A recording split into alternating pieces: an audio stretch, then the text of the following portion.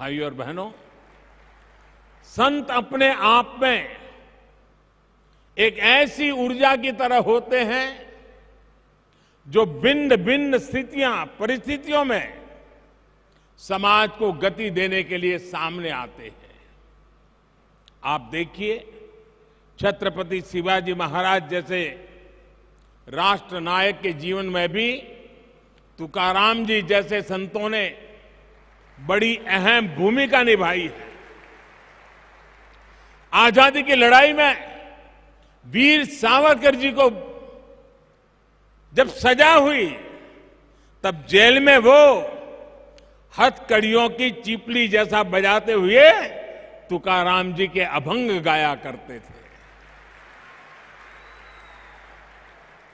अलग अलग कालखंड अलग अलग विभूतियाँ लेकिन सबके लिए संत तुकाराम जी की वाणी और ऊर्जा उतनी ही प्रेरणादायक रही है। यही तो संतों की वो महिमा है, जिसके लिए नेति नेति कहा गया है।